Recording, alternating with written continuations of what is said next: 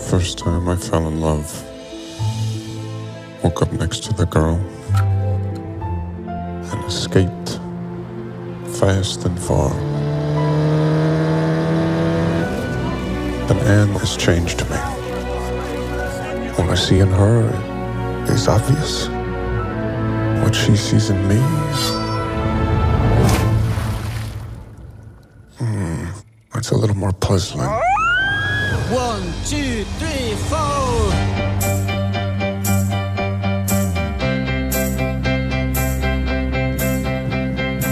So may we start.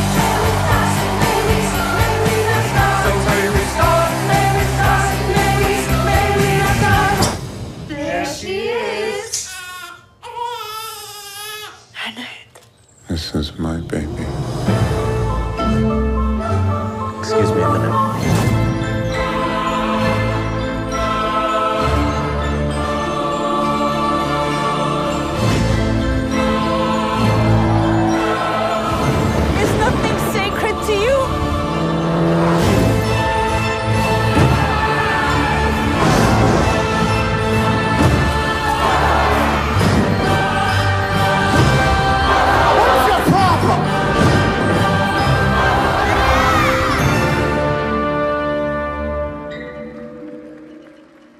Everything will be all right.